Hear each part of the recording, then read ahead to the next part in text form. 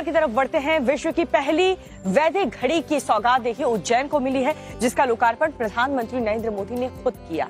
और वैदिक घड़ी कई मायनों में बेहद खास होती है और आपको बता दें कि उज्जैन में इस घड़ी को इसलिए भी लगाया गया है क्योंकि महाकाल नगरी उज्जैन हमेशा से काल गणना का केंद्र रही है। और क्या क्या खास है इस वैदिक घड़ी में, वो आपको इस डिटेल रिपोर्ट में दिखा देते हैं।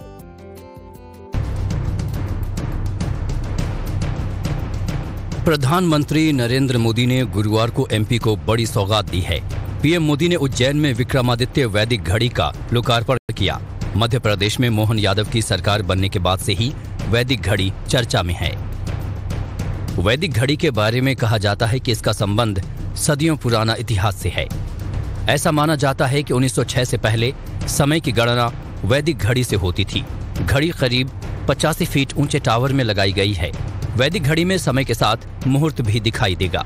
घड़ी, वैदिक हिंदू पंचांग, तिथि, ग्रहों की स्थिति, ज्योतिषीय गणना और भविष्य की जानकारी देगी।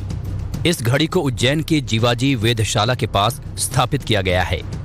भारत की एकमात्र वैदिक घड़ी इंस्टॉल हो गई है। उज्जैन की वेदशाला में इसे इंस्टॉल किया गया है और मेरे बाई तरफ़ जो टावर आप देख रहे हैं, इसके सबसे ऊँचे शिखर पर जो घड़ी आप इस समय देख रहे हैं, ये विक्रमादित्य वैदिक घड़ी है। वैदिक घड़ी जो तैयार की गई, वो विक्रमादित्य शोध संस्थान द्वारा की गई और उसके निदेशक हैं डॉक्टर श्रीराम तिवारी हमारे साथ हैं। सर, क्या विशेषता है इस घड़ी की और क्या लाभ होगा? देखिए, पहली बात तो ये कि ये जो घड़ी है ये भारतीय कालगणना की जो प्राचीनतम पद्धति है दुनिया की, उस पर ही आधारित है।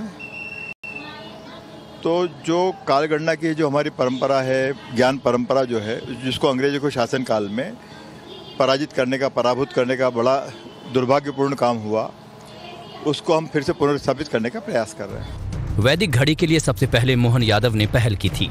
2022 में उन्होंने घड़ी के लिए टावर के निर्माण की घोषणा की थी। और विधायक निधि से एक करोड़ अड़सठ लाख रुपए आवंटित किए थे।